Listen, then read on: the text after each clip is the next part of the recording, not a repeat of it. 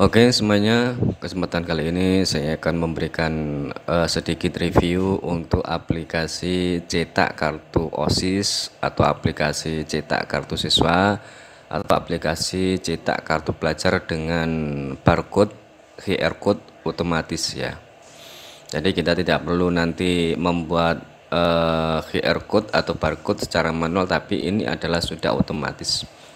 Jadi di sini kita menggunakan aplikasi cetak kartu siswa versi 3.1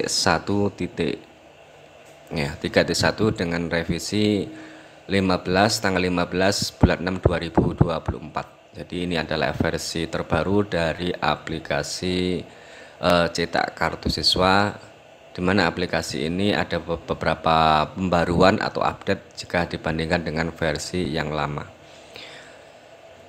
Jadi di menu aplikasi ini dari tampilan dari aplikasi ini ada beberapa menu. Pertama adalah menu import file Excel. Jadi import file Excel misalkan kita sudah punya uh, data siswa dalam bentuk file Excel nanti bisa kita import ke dalam aplikasi sehingga nanti akan mempermudah kita dalam mencetak kartu OSIS atau kartu siswa atau kartu pelajar seperti itu ya. Jadi pertama kali kita uh, apa uh, pertama kali kita menggunakan aplikasi ini atau misalkan kita ingin membuat kartu OSIS atau kartu pelajar yang pertama kita setting kita perlu kita lakukan adalah menu setting kartu di sini seperti ini ya. Jadi seperti ini kita perlu melakukan setting kartu seperti ini kemudian di sini ada ubah format label. Nah, ini ini perlu kita tentukan dan di sini nanti agar kita uh, tahu atau paham urutan-urutan datanya. Misalkan kita ingin membuat uh, kartu dengan caption, misalkan di sini ada seperti ini, dan nama. Misalkan ini ganti kelas, bisa. Kemudian ini diganti nomor HP bisa atau diganti dengan alamat ya. Jadi ini sifatnya fleksibel. Fleksibel itu dalam artian nanti misalkan anda ingin membuat kartu siswa atau kartu osis dengan uh, beberapa caption atau dengan beberapa judul tulisan atau item-item apa saja yang ingin digunakan nanti bisa diatur di sini. Misalkan kita ingin membuat uh, dengan struktur data NISN, nama, tempat tanggal lahir, kelas dan alamat. Nah, seperti itu ya. Nah, di, kalau di unchecklist berarti dia tidak tampil atau tidak ada di kartu. Nah, di sini kita, kita checklist karena kita ingin membuat uh, desain kartu dengan urutan seperti ini. Kalau sudah nanti kita tekan tombol simpan atau save seperti itu ya. Kemudian di sini ada beberapa caption. Nah, ini bisa kita ubah di sini ini header 1 2 3 4 ada 4 ada 5 sebenarnya ini kita kosongi karena terlalu banyak. Kemudian di sini ada judulnya kartu pelajar atau kartu OSIS atau kartu siswa. Nah, seperti itu ya. Jadi kita bisa ubah di sini. Kemudian di sini juga ada uh, ini ada apa desain belakang. Ini kita ada tulisannya seperti ini. Bisa kita ubah di sini. Nah ini bisa kita ubah di sini dan folder tempat cetak penanggung jawab atau apa kepala sekolah. Nah, di sini bisa kita ubah di sini. Kemudian di sini ada beberapa pilihan barcode yang seperti yang saya katakan tadi adalah kita bisa membuat kartu pelajar atau kartu OSIS dengan barcode otomatis. Yang perlu kita jelaskan di sini adalah jenis QR code. Nah, jenis QR code ini ketika nanti di scan QR code ini di scan nanti yang tampil adalah baris pertama ini kolom pertama ini adalah NISN kemudian kalau misalkan menggunakan QR code QR code 2 ketika di scan maka semua data ini kita scan menggunakan HP Android maka baik NISN nama tempat tanggal lahir kelas alamat ini akan tampil di HP kita. Seperti itu. Kemudian kalau QR code eh, kode 128 juga sama. Nanti yang tampil hanya NISN jadi tinggal nanti anda pilih jenis uh, barcode-nya apa. Nah pilihnya di sini. Nah, ini kalau sudah kita tekan tombol simpan. Nah, seperti itu ya. Nah, ini juga ada tombol file Excel seperti yang jelaskan tadi. Jadi misalkan kita sudah punya file Excel nanti bisa kita import ke dalam aplikasi. Caranya kita klik buat template. Nah, setelah buat template kita tunggu sampai nanti ada uh, file Excel terbuka. Jadi kita tunggu, kita tunggu sampai dengan ada file Excel terbuka. Biasanya di bagian bawah nanti ada kedip-kedip merah. Nah itu menandakan bahwa itu nanti ada file Excel yang terbuka. Nah seperti ini. Nah ini. Nah ini terbuka file Excelnya. Yang perlu kita uh, pahami atau perlu kita perhatikan di sini ada beberapa kolom yaitu kolom seperti ini ya.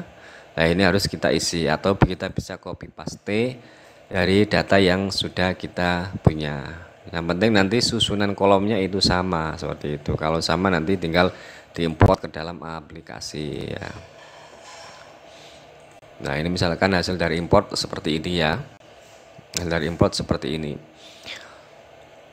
Kemudian di sini juga bisa import foto secara massal. Jadi misalkan kita sudah punya foto siswa, nah, nanti kita bisa mengimportnya di sini secara massal atau uh, ya cara massal dengan penamaan uh, penamaan nama filenya nanti sesuai dengan kolom pertama ini dan formatnya harus JPEG seperti itu ya.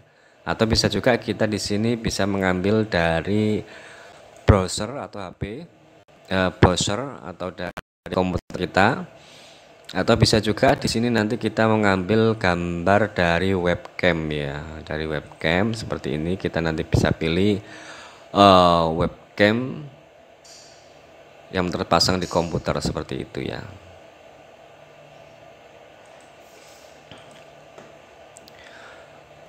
Kemudian di sini juga ada tool, tool ini nanti kita backup bisa backup atau restore database ya.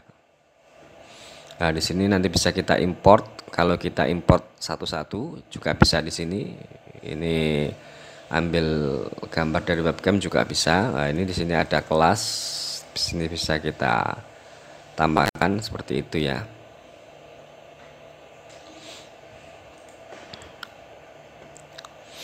Jadi kita kita bisa input data satu-satu juga bisa dan Excel juga bisa. Kemudian yang terakhir di sini kita pilih cetak ya, cetak kartu. Caranya kalau cetak kartu tinggal kita pilih atau checklist mana saja yang ingin dicetak. Atau misalkan kita ingin cetak semua, berarti kita pilih-pilih semua, kemudian pilih print kartu seperti itu. Jadi nanti kita bisa uh, ekspor atau simpan kartu ini ke dalam format JPEG ya atau format gambar. Ya, dari previewnya bisa kita lihat seperti ini. Ya, ini tadi sesuai dengan QR code yang telah kita pilih. Jadi QR code ini kita kalau kita apa scan dengan menggunakan HP Android atau barcode scanner nanti bisa tampil semua data ini. Nah, di sini enaknya lagi di sini Nanti kita bisa menyimpan dalam format PDF, dalam format gambar atau bitmap untuk kita uh, cetak di tempat lain. Misalkan kita ekspor ke format gambar atau bitmap. Nah, ini berarti kita simpan misalkan di desktop. Kita simpan di buat folder baru Nah, kita simpan di kartu OSIS seperti ini ya. Ini contoh saja.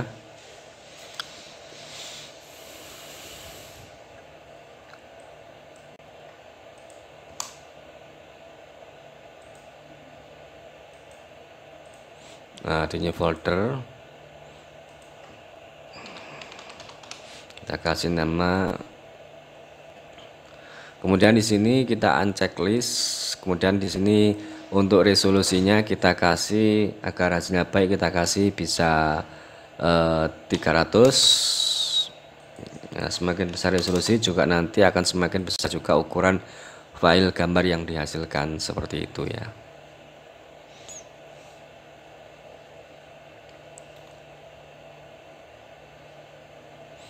Ini masih proses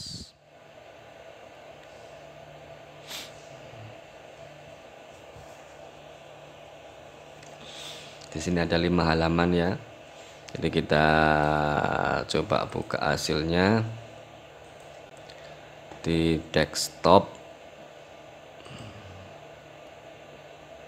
Di new folder.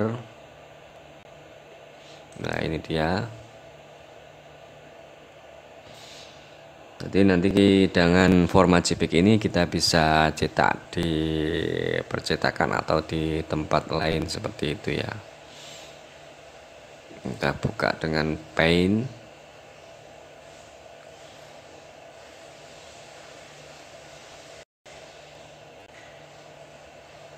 Nah seperti ini hasilnya nanti. Ini dibuat dengan aplikasi ya.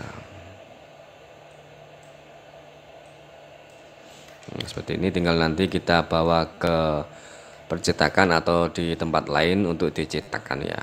Itu adalah seputar review dari aplikasi cetak kartu dengan QR code, barcode otomatis dan juga foto. Nah, jika Anda ingin menggunakan aplikasi ini, eh, nanti Anda bisa menghubungi saya di nomor WhatsApp ini atau nanti bisa langsung kunjungi di website saya Icasoft ya. Oke, dari saya cukup sekian dan terima kasih.